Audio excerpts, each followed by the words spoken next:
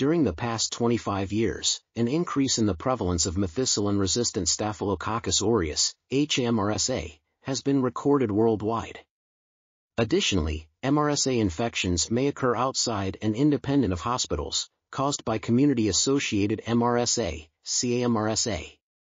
In Germany, it was found that at least 10% of sporadic infections are due to livestock-associated MRSA, LAMRSA, which is initially associated with livestock.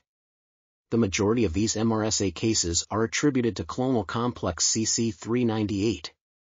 LAMRSA CC398 colonizes the animals asymptomatically in about half of conventional pig farms.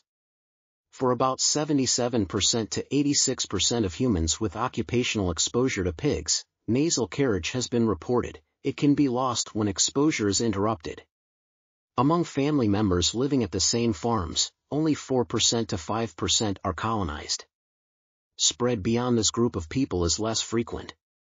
The prevalence of LAMRSA in livestock seems to be influenced by farm size, farming systems, usage of disinfectants, and in-feed zinc.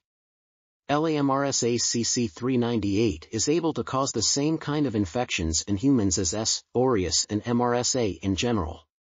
It can be introduced to hospitals and cause nosocomial infections such as postoperative surgical site infections, ventilator-associated pneumonia, septicemia, and infections after joint replacement.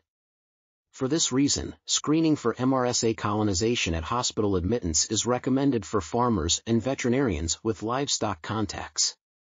Intrahospital dissemination, typical for HAMRSA in the absence of sufficient hygiene, has only rarely been observed for LAMRSA to date.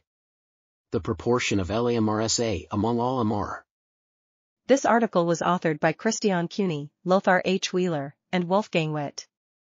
We are RTCL.TV, links in the description below.